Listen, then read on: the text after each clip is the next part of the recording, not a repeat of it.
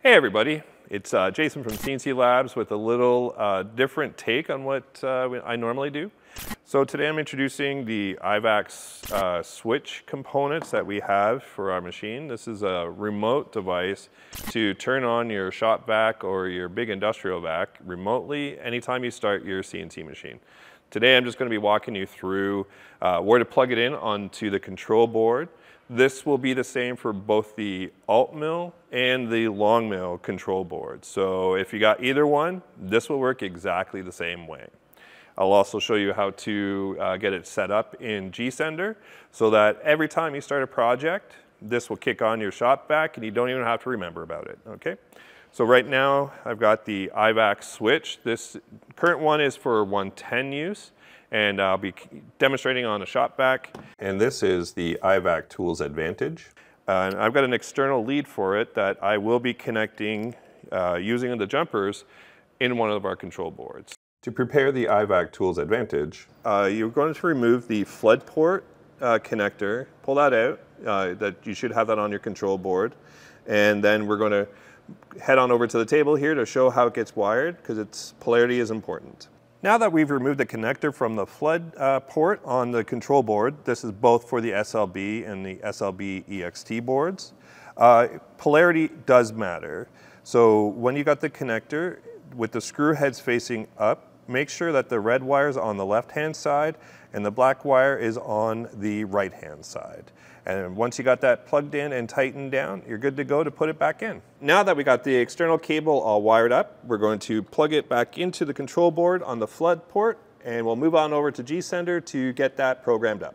All right, now that we've got everything wired into the control board, we're gonna move on over to GSender to do the magic part. Uh, we're gonna get into our settings and we are going to go down into program events. This will allow us to turn on the flood port uh, when we start our job and it will turn off the flood port when we're finished. So that will start the vacuum and turn off the vacuum.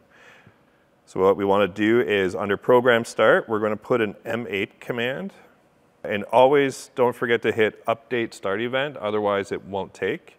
And in the program stop, we're going to select, we're going to input an M9 command. Don't forget to hit update stop event and everything is now ready to rock and roll. That's it. That's as simple as it gets. All right, now that we've got GSender set up and the commands are uh, ready to go, uh, a couple of housekeeping things before we get finalized. Uh, on this here, it's, it's a three-way switch. Make sure that you're set to the middle position.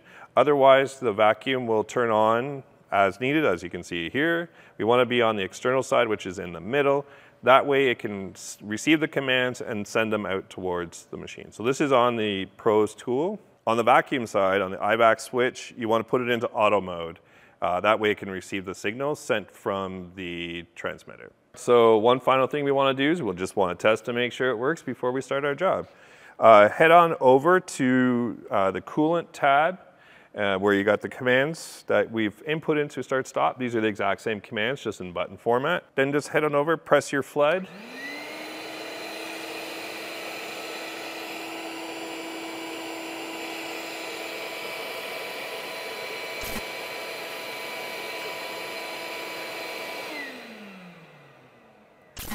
There's a delay uh, once the command has been executed to stop.